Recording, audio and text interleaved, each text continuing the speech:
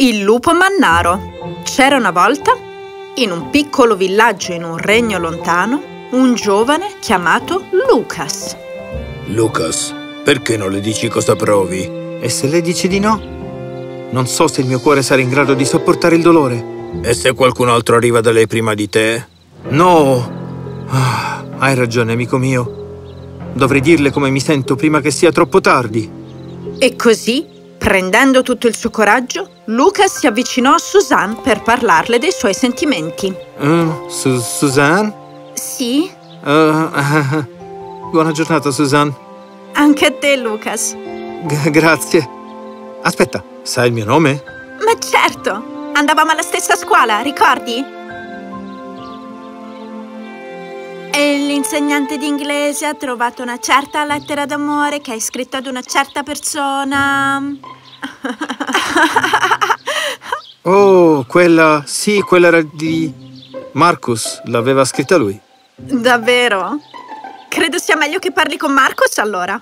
In realtà non è stato Marcus, sono stato io. Ti amo. Aspetta, non l'ho detto davvero. L'hai detto e come? io, io, io... Ok, ciao. ah. Sus...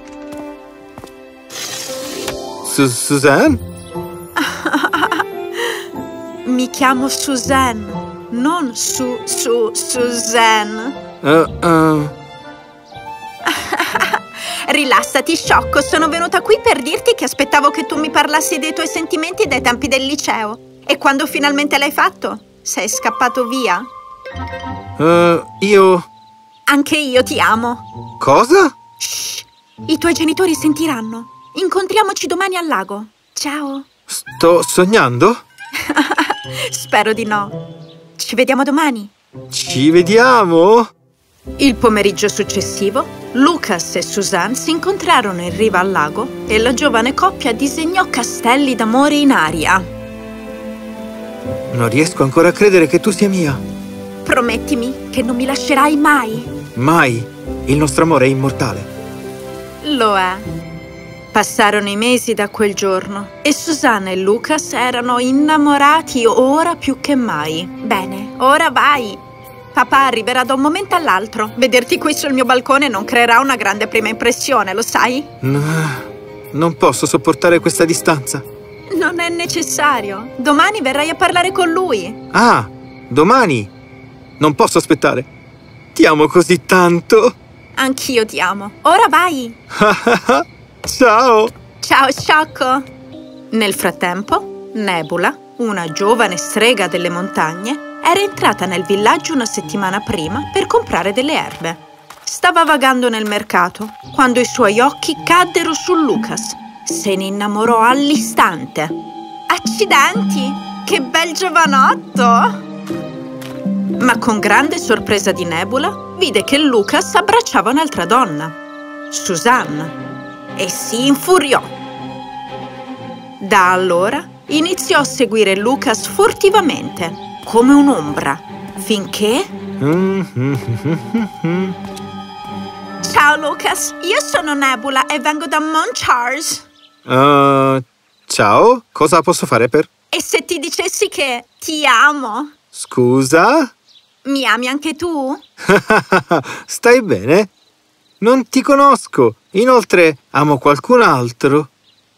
Allora, se non posso averti io, caro falegname, nessuno potrà farlo. Cosa? La prossima volta che andrai nella foresta a cercare la legna, al primo colpo d'ascia, ti trasformerai in un lupo. E dicendo questo, Nebula si voltò e se ne andò. Lucas rese dentro di sé e tornò a casa. Quel pomeriggio, incurante delle minacce della strega, Lucas mise i suoi buoi sul carro e si diresse verso la foresta. Ma non appena colpì un albero, l'ascia cadde a terra Sorpreso e terrorizzato si guardò le mani. Erano diventate zampe di lupo. No, no, no!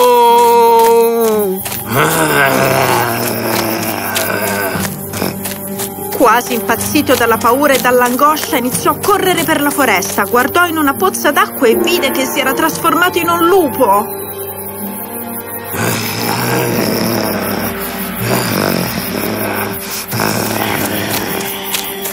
Si affrettò con dolore e terrore e corse fuori dal bosco. La gente cominciò a urlare, a gridare e a correre con orrore alla vista dell'enorme lupo ai margini del bosco. Si salvi chi può! E vedendogli andare di qua e di là, la bestia si rese conto del panico che aveva portato alla gente. E mettendo un forte ululato, il lupo mannaro si girò e scomparve nel bosco. Il sole calò e poi sorse di nuovo. Era un nuovo giorno.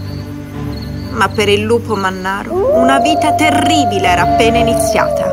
Al villaggio, Suzanne stava aspettando con il fiato sospeso che il suo Lucas tornasse a casa per chiederle la mano, ma lui non arrivò per ragioni che solo lui conosceva. Perdonami, amore mio. Non posso venire da te in questo stato perché ti spaventerei, ma andrò a cercare la strega, così che lei possa annullare la maledizione e io possa tornare presto da te. E così Lucas, che era ora un lupo mannaro, iniziò il suo viaggio verso il monte Charles. Attraversò molti fiumi e camminò in molte foreste, assicurandosi di rimanere fuori dalla vista degli umani. E ogni volta che incontrava uno specchio d'acqua, catturava i pesci a mani nude e li mangiava fino a che non era pieno. Andò avanti e avanti e un giorno il suo viaggio lo portò in un prato, dove vide un branco di iene circondare un ragazzino, con la saliva che colava dalle loro bocche mentre si avvicinavano al bambino. Qualcuno, per favore, mi aiuti! E, con un forte ruggito, Lucas saltò nel mezzo. Le iene, vedendo l'enorme bestia, corsero in qua e in prima di scomparire dietro gli alberi. Per favore, per favore, non uccidermi! Lucas guardò il bambino spaventato e poi, girando la testa verso il sentiero, continuò il suo viaggio. In quel momento sentì una voce, la voce di una donna. Lucas si voltò e vide Nebula, la strega, correre verso il bambino e abbracciarlo. Jack! Oh Jack! Perché hai lasciato la mia mano? Stai bene? Sì, quello strano lupo mi ha aiutato. Nebula guardò il lupo e subito capì chi fosse. Lucas? Lucas ululò, chinò la testa. Una lacrima gli sfuggì dagli occhi perché si sentiva così impotente da non poter nemmeno parlare. Ah, Mi dispiace tanto, Lucas. La mia rabbia ha avuto la meglio su di me. Hai salvato la vita di mio fratello. Te ne saremo grati per sempre. E dicendo questo, la strega accarezzò delicatamente la testa di Luca, che subito si trasformò nella sua forma umana. Le parole non riuscirono ad uscire dalla sua bocca quando vide le sue mani e toccò il suo viso. La sua rabbia verso la strega svanì immediatamente. Lucas, mi dispiace. Ho imparato che il vero amore non consiste sempre nel conquistare la persona che ami. A volte si tratta di vedere quella persona felice anche senza di te. Beh, lasciamo che il passato sia passato. Devo andare subito dal mio amore. Lucas, aspetta. La maledizione non può essere annullata definitivamente. Cosa vuoi dire? Ora sei umano, ma ogni volta che ti arrabbierai, il lupo dentro di te risorgerà. Mi dispiace, ma non c'è modo di annullare l'intera maledizione. Sto per incontrare il mio amore. Il mio cuore non ha posto per la rabbia. Grazie e addio. Hai fatto un lungo viaggio, Lucas. Ecco, questo incantesimo ti porterà subito al tuo villaggio. E con una scintilla, Lucas scomparve dal prato e apparve nel suo villaggio. Ora, dal mio amore. Si recò subito a casa di Susanna, dove vide molte persone riunite, come se ci fosse una festa. Che succede?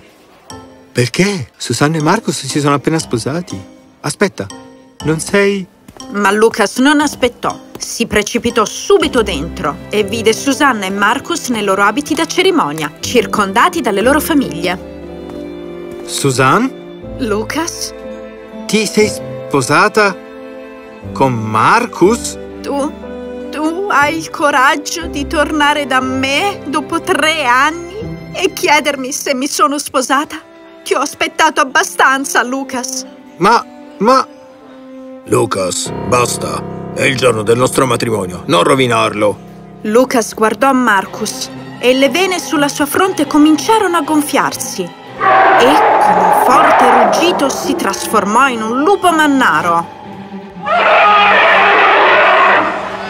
Il panico irruppe nella casa e la gente corse spaventata, mentre Lucas si avvicinava a Marcus, mostrando i suoi lunghi denti canini e gli artigli. E proprio quando Lucas stava per balzare su Marcus, fermo!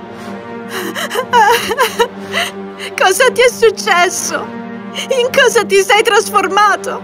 Per favore, ora è mio marito! Se devi fare del male a qualcuno, fallo a me! Suzanne piangeva, con le mani giunte, supplicando.